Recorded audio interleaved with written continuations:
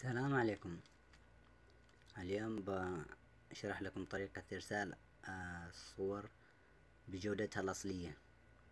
لأن البعض يعاني من آه، إن الصور لما ترتسل بالواتساب توصل بجودة قليلة جدا. يعني إذا هي مثلا خمسة ميجا ولا ستة ميجا آه، ترتسل بالواتساب توصل وهي خمسين كيلو سبعين كيلو.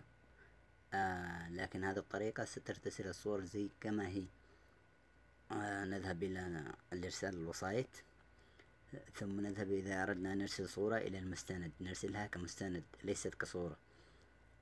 ثم نذهب إلى المتصفح حق الصور ونختار الصورة التي نريد إرسالها. آه لتكن هذه. أيوه. إرسال. آه نلاحظ هنا أن حجم الإرسال الصورة الأصلية خمسة ميجا فاصل أربعة. يعني بجودة جدا ممتازة.